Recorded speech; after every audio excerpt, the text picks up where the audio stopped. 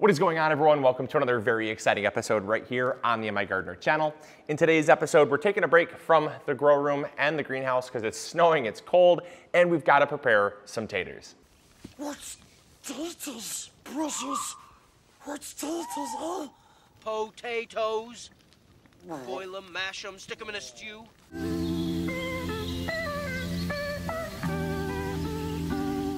All right, so the things you're gonna need to do this is pretty simple. First, you need your potatoes. Now, we did this about two weeks ago, and we properly chitted our potatoes. That's chitting with a CH, um, not an SH, a CH, and that basically just means that we are forcing eyes on our potatoes. Go back and watch that video, it's super helpful. You wanna do that before you get to this stage, because if you don't actually have eyes formed, you can't properly cut your eyes and divide your potatoes up. Next thing you're gonna need are some egg cartons. These are the cardboard kind. You don't wanna use styrofoam. They've been using cardboard egg cartons for this exact reason for many, many years. And basically what it does is it allows airflow through the potato so they scab properly. It won't hold moisture so they won't rot. And you can do things like they do on a commercial scale. It's just, I like to show you what you can do on a home scale. So on a commercial scale, they would use what they call chitting trays.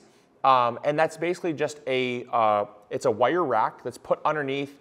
It's hardware cloth. They wrap around some two by fours and they basically make these racks that allow airflow to circulate through. And they do that so that the potato can scab properly. You can just use them, again, you can use cardboard egg containers. And then you're also gonna need some honey. This is actually used to, uh, to prevent the potato from scabbing um, because it's actually antibacterial and antifungal. So you can also use wettable sulfur or like powdered sulfur, but um, if you use honey, which a lot of people have, it's gonna have the same effect. All right, so the first thing that I wanna talk about here is why you can't just take this potato and throw it right in the ground. Now, granted, you totally could, but should you? No, you definitely shouldn't. And the reason why is because all of these eyes are future plants. And if you were to throw this whole potato in the ground, a couple things can happen. One is this potato is going to rot eventually, and anytime it rots, it can um, harbor things like, like mold and mildew that can actually uh, harm the plant's health. So um, the less potato there is, the better. And also, um, when all these eyes start growing, these are all future plants.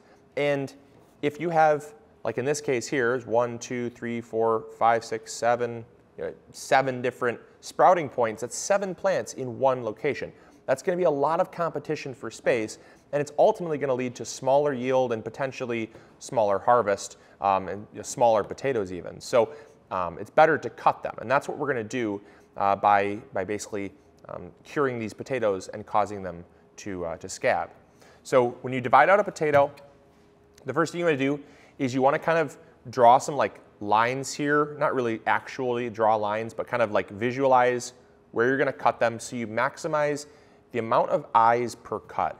And so I can kind of see here, like there's a clear, a clear cut right here where I'm going to get a good amount of eyes in that cut. And this is great. I mean, this is gonna have like one, two, three, four plants, which is about the maximum amount of, uh, the maximum amount of plants you want on like a single potato like this. Now you could take it and you could actually cut it on an angle. Again, we're kind of just gonna cut this off. So now we have like a wedge with just one eye. You could do this, or you could have kept it whole too and just kind of kept the maximum amount of eyes, right? But we're gonna maximize by kind of cutting them into wedges. The next thing you want to look at is you want to look at, um, so this one is kind of already exhausted. We'll keep this one on the side. It'll probably form some more eyes as it goes, but this one I'm going to discard for right now because there's not really anything I can kind of visualize here. This one is a really great example of, I mean, this has so many, so many uh, sprouting points for eyes that are already developing. And so I can take this, I can cut it in half okay? There's still way too many. So now I can cut it in a quarter like that. And now I have got one, two, three, four sprouting points there.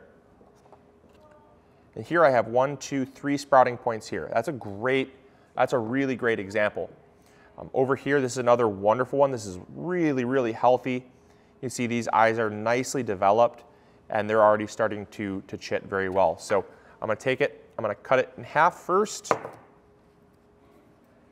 Okay, so now uh, I have one, two, three, four. It's pretty big, there's a lot of potato.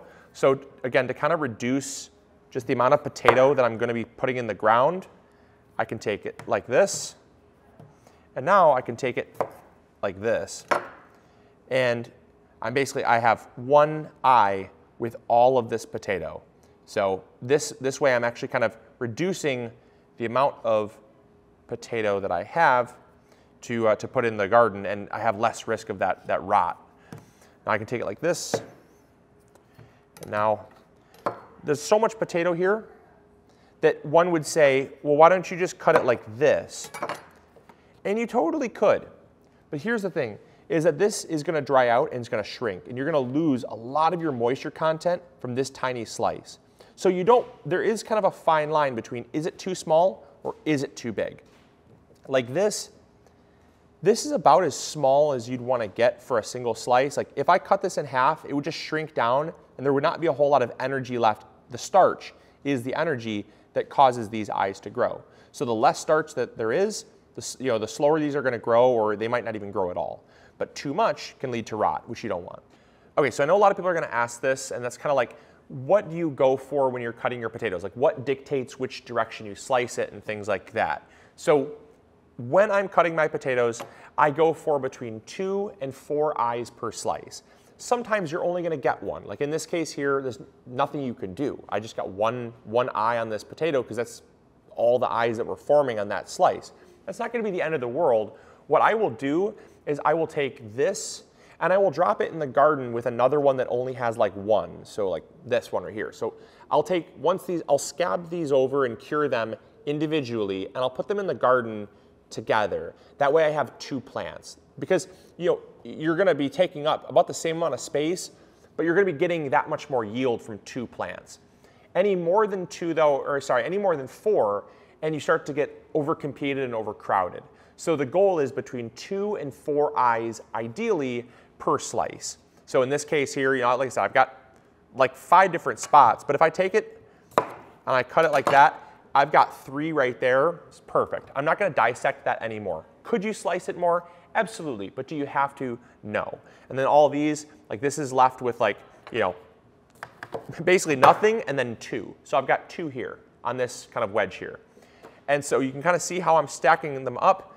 The, the slices that don't have any eyes on them, I'm gonna leave them in this tray. They may, form, they may form eyes at a later time, but they don't have anything on them right now to, to cut. So I'm leaving them in this tray. The ones that are gonna form eyes or have already formed eyes, um, I have them here in these egg cartons. And then the final thing you're going to wanna do is you're going to wanna sterilize the potatoes. Now again, you can use powdered sulfur. Basically, you're just gonna take powdered sulfur and you're gonna dip them in the powdered sulfur. Or what you can do is you can take honey. Honey is very acidic. It has, an, uh, it has a pH of right around four. And so we're going to take a paintbrush and we're going to take some honey and we're going to simply paint on the potato. So the surface of the potato is basically like a petri dish and it's the perfect environment to grow things like mold and bacteria because it's not only damp, but it also is a rich carbohydrate source. And so the starches are the carbohydrate source that things like mold and bacteria thrive on. That's why if you went back to, if you recall back to high school biology class, you'd take a slice of potato, wipe it on like a toilet seat or on the phone, and then you'd put it in a warm location and you could actually count the, the bacterial colonies on the slices of potato. So we don't want to grow bacteria and mold on your potatoes. So what do you do? Well, you simply inhibit the growth with something acidic. Now, again, you want a strong acidic substance like powdered sulfur or honey, and that's going to basically uh, kill um, anything on the surface. It's going to sterilize the surface so that uh, the potato can just scab over and, and dry normally. So this, because it's a sugar, it's going to draw some water out of the potato. That is very normal. But over the course of about a week or two, you'll notice that dries up. It'll turn kind of, uh, kind of well, very dry and kind of leathery, almost like the outside of potato. It'll turn very dry and leathery, and that lets you know that it's cured properly. At that point, you can then take it and put it into your garden. You want to let them cure for about two weeks before you put them into your garden because if they haven't cured properly, they're absolutely gonna rot. So it's really that simple. A lot of people have written in asking how to do this, and I thought this would make a really quick, simple video for you guys. Plus, we're gonna be planting our potatoes really soon in the garden, so I thought I'd make a good video for you guys. So I hope you all enjoyed. I hope you learned something new. If you did learn something new, make sure you let me know down in the comments box down below. Hit that like button and subscribe if you haven't already. We have tons more gardening content coming out, and before you know it, we'll be out in the garden. So um, make sure you follow along. We'll be planting these potatoes in the next couple weeks out in the garden. And uh, yeah, hope you guys enjoyed. And as always, this is Luke from the MI Gardener channel, reminding you to grow bigger. Take care, guys.